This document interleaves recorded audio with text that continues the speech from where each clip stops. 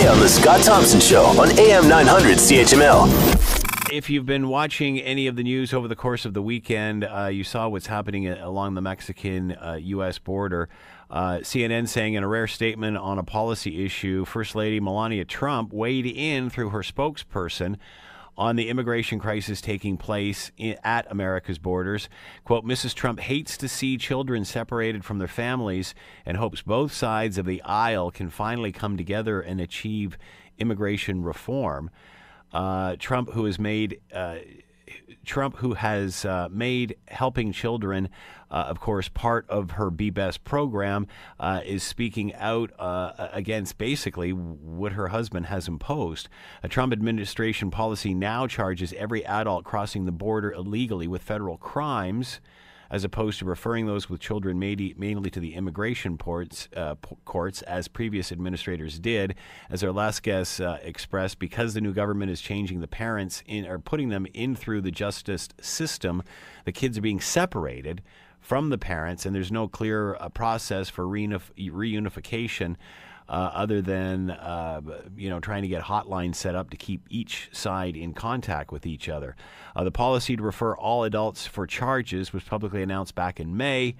And they said that they would uh, be zero tolerance, zero tolerance. They would uh, be prosecuting 100% of these cases. Ne- nearly 2,000 kids have been separated from their parents and guardians and placed in holding facilities between April and May of this year, says uh, Homeland Security.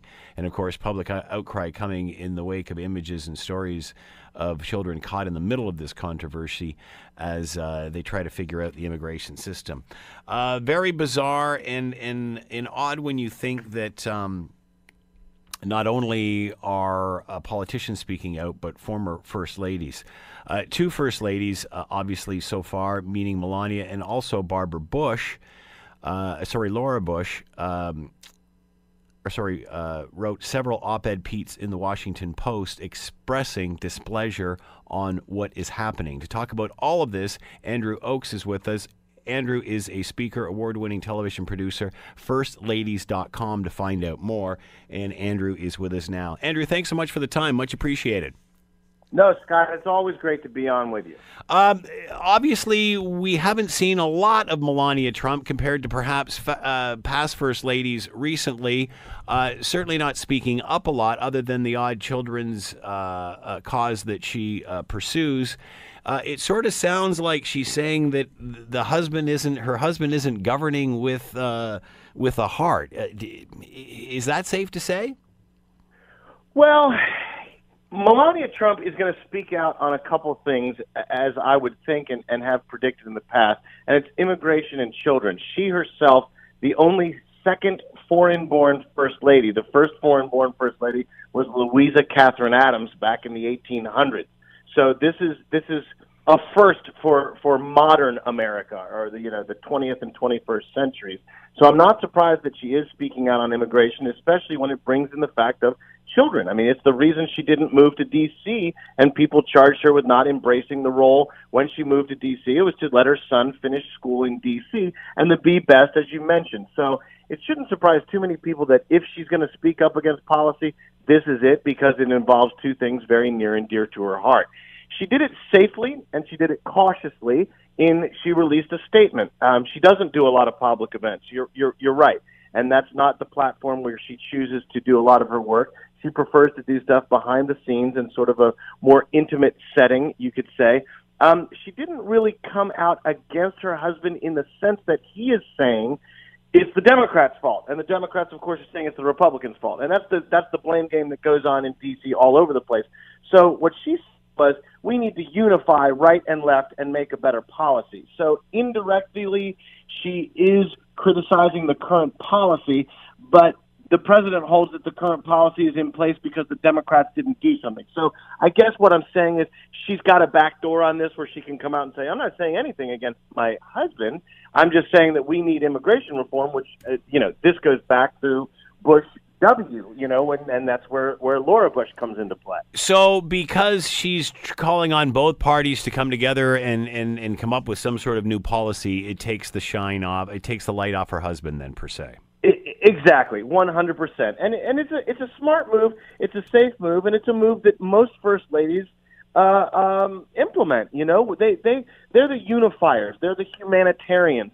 Barbara Bush uh, uh, uh, was mentioned in Laura Bush's article very effectively what she did for her husband's administration when it came to the untouchables, the HIV AIDS epidemic. When it first started out in the 80s, there were these children that no one wanted to touch. They were basically dying of HIV AIDS, and and Mrs. Bush went in not as a Mrs. Barbara Bush went in not as a political statement, but as as Laura Bush says in the article, it was the right thing to do. She embraced this child that needed this this love at this time. Barbara Bush losing a daughter, uh, a very young. Uh, uh, their their daughter Robin died at the age of three. It's it's an it's an, a humanitarian image that these first ladies fulfill for their husbands to indirectly move policy and agenda forward. They just have to do it in a very careful way, which I would say Melania Trump did did a, a, a did what she should do.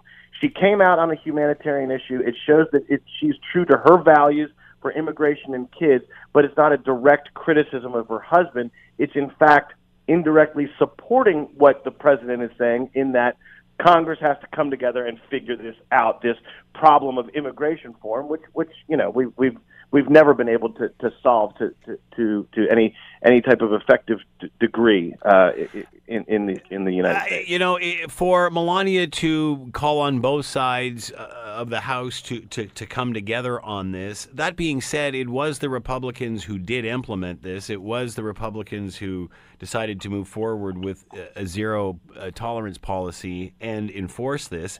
Can this be used against her? I mean, how how careful do first ladies have to be that they do come out on the same side as as well? Very, that's that's an excellent point, Scott. And I mean, these these first ladies get criticized when they wear the wrong shoes. So you know they get criticized for everything. And I'm actually, I will say this: I will go on record saying I'm I'm very surprised Melania Trump came out on policy because I just didn't think she was going to be that type of first lady. This is a bold step for her, and it could be seen and will be seen, and it's not altogether incorrect to be seen as a slight against her husband's party, against the Republicans. Uh, Betty Ford did this very, very famously. Uh, uh, spoke uh, uh out against her husband's party, again the Republican Party, and her husband Gerald Ford in numerous occasions on ERA and and and drug use and and uh, uh, premarital sex. There were some comments. Um, uh, the, she she she did not do her husband any political favors, but she's remembered as one of our most influential and most popular first ladies. She did wonders for for uh, uh, cancer awareness and, and and drug addiction, and now again Laura Bush in in these comments that she's made, and she does. You know, this is a remarkable thing. I don't think a lot of people know. Laura Bush does about 200 events a year. She is a very hmm. very busy first lady, former first lady and she does it quietly. She does it very quietly, gracefully, and she is promoting her husband's legacy, as all these first ladies do. And her husband, George W. Bush, has decided to take, some would call it a wise step back and sort of just let the dust settle from his administration because it went back and forth and he he didn't leave with the best of poll numbers but Laura Bush left with amazing poll numbers so she's out not pushing this agenda, but but supporting a legacy and supporting the good work that her husband did, in her opinion, and and doing a lot of events like this. And Melania is setting the stage. It's it's not unprecedented. She's she's doing very similarly what other first ladies have done in the past on a very important and controversial issue. But but sure, uh, it could come back and and and and haunt her. Will people view Melania's statement uh, as possibly helping the president. Uh, because it is not necessarily with what he is supporting. It, it, you know, to what degree, I guess you can debate how, how much he's disagreeing with him or agreeing with him. But are those that are sitting back and thinking, well, maybe she can talk some sense into him? Well, you know, I, I think people will get out of this what they want. You know that that's what that's what news and, and headlines and, and the internet have, have done for us in modern times. And and and because the statement is not the statement was crafted very carefully so it could be interpreted either way. Is she criticizing her husband? Maybe a little bit because she doesn't under she doesn't she's not pleased with the situation that's going on with the children. But is she also, in a sense, supporting his words and saying, "Look, I agree with my husband. The right and the left need to come together on this because every soundbite you see, Donald Trump is saying." The Democrats can fix this. The Democrats can fix this, and it's it's political theater, and it's what we're used to, and what we've come to in this modern modern age of, of news and information. But um, you know, she's she's staying true to her cause. And I think that's the thing that we need to focus on here. Whether she's supporting her husband or criticizing her husband, it, it it almost doesn't matter in her sense because she's staying true to her values and true to her causes. Immigration, very near and dear to her heart. Children, her main cause, her main thrust, her main focus in life is children and the well being of children. Everything that she touches has a stamp of children on it. So, this, I think, is another example of Melania Trump staying focused and only entering the limelight or end, getting on the stage when she feels strongly about something. And she does it, in my opinion, very effectively. This goes along with the, the bullying campaign. And I think she will get criticized for this. People will, or, or people will, the president will get criticized this. And Melania Trump doesn't react to her detractors or her critics. And that, I think, is a leading by example for, for her anti bullying campaign is that if someone says something bad about you or something you disagree with, you just move on. Just move on and ignore it, and it goes away. And the news cycle picks up with something different. But I think that when in in in the case of of politicians and and these people that that when you do address it and when you do have retorts and comebacks and things like that it just fans the fire and the criticism and and the bad press continues. So whatever backlash does come from this statement uh, negative or, or otherwise i think she'll ignore it and move on keeping children first. And you know child immigrants or children of immigrants is is just you know tailor made for her and her causes uh, many have uh, questioned the kind of relationship that the president and the first lady have. Does this say anything about their relationship as husband and wife? It could. It, it very much could. You know, and and again, this this is this goes back to Melania's character. If she's at an event where she doesn't necessarily I hate to say support. If, if it's an event that she's not gung ho about, if it's not about children, if it's not about one of her causes, if it's sort of just a standard run of the mill, have to be there, support your husband kind of thing, she's not holding his hand. They don't appear to be friendly sometimes, and there's criticism of whether she's smiling or not. But then you see something. I promise you, when the the, the uh, um, uh, king and queen of, of Spain, uh, the the dignitaries from Spain are coming next week. She's going to throw another outrageous party with all the frills and she's going to be dressed to the nines and looking elegant and the the the, the dinner is going to be fantastic and the guests and the entertainment. That's where she really shines in that hostess role and that sort of pomp and circumstance that she enjoys and does so well with that that's going to be the next news cycle and that's where everyone's going to be in another week. When she goes out with the president i believe it was in Philadelphia at a at a um, anti-drug, you know, the opioid campaign that they're trying to push forward as well. Very supportive of that effort, and we see them almost loving. You know, they're they're holding hands, they're whispering in each other's ears, and things like that. I mean, if Melania's in, she's in. If she's not in, she's not in. You know, mm-hmm. I mean, you know where you stand with right. Melania, I think, and and and so as to you know, their relationship, I think it just supports that more. You know, the president, her husband has done something, or he and his party have done something together that ended up not working out very well for children. We can say that, to, to say the least.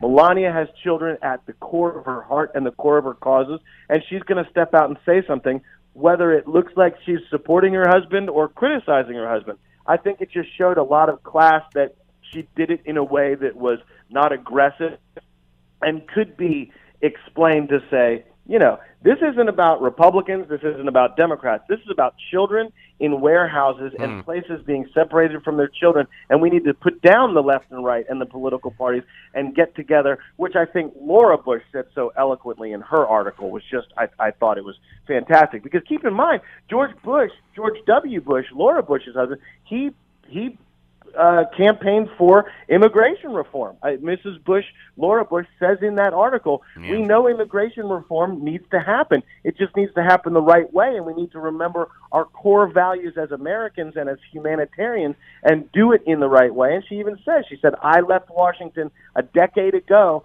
but but I know there's still good people there that can get this done. So I think both first ladies, Laura Bush and Melania Trump, have done a fantastic job to come out in that traditional first lady's humanitarian role and say, put down your elephants and your donkeys, put down your parties, and mm. let's get together and do this for the right reason, for the right people, which in this case is the children. So the first lady can call out the president. What about other first ladies calling out? Um, um, uh, um, not future, but current uh, presidents. Is that ever shunned? Is that is that normal? Um, you know, it's funny. I, I, I thought about that a lot this morning, you know, and, and, and over the weekend as I was looking this. It, it, the only time something like this is really frowned upon is when one president criticizes another, a former president criticizes a president when he's overseas. That's a bad PR move. I know that President Carter did that with George W. Bush, and he got caught grief for it because it's kind of like, you know, the it's it's like it's like Fight Club. It's like some, you know, it's like a code. Right, yeah. It's like you know, you, you just you just don't do it. Yeah. But first ladies get a pass on some things that, that politicians don't because, as I've said on your show and, and in my books and, and everything, first ladies are the most powerful and influential and influential unelected and unpaid women in the world. There's no job description. We can't really tell them what to do or say because we elect them to say or do anything, and we don't pay them to say or mm. do hmm. anything. They use this platform for however they see fit. Laura Bush has also said, and she's correct, every first lady can make it her own role and do with it what she wants, and that includes nothing. So when a first lady comes out and makes some sort of statement like this, it's it's really it's really not frowned upon. It's taken at its core value. You want to go back in history to the Civil War, one of the roughest times in American history. First Lady Sarah Polk, after the White House, in Nashville, Tennessee. No, not Nashville. I'm sorry. It was uh, um, no, it was Nashville. I believe it was Nashville, Tennessee, where Polk Place was. Sarah Polk, former First Lady, after her husband died, was entertaining at dinner parties Union and Confederate soldiers. They've always been this mediator. They've always been able to remove themselves from policy and politics while still commenting mm. on policy and politics. And it's because they have that influence. They've been in the White House. They know that role, but they're not elected or paid. So it's basically a first lady statements are all op eds. You know, they're, they're yeah, good point. Andrew Och has been with us, author, speaker, and award winning television producer. You can find out more about Andrew at firstladiesman.com. That's firstladiesman.com. Andrew, as always, thank you for the time. Much appreciated. Want to hear more? Download the podcast on iTunes or Google Play and listen to The Scott Thompson Show weekdays from noon to 3 on AM 900 CHML.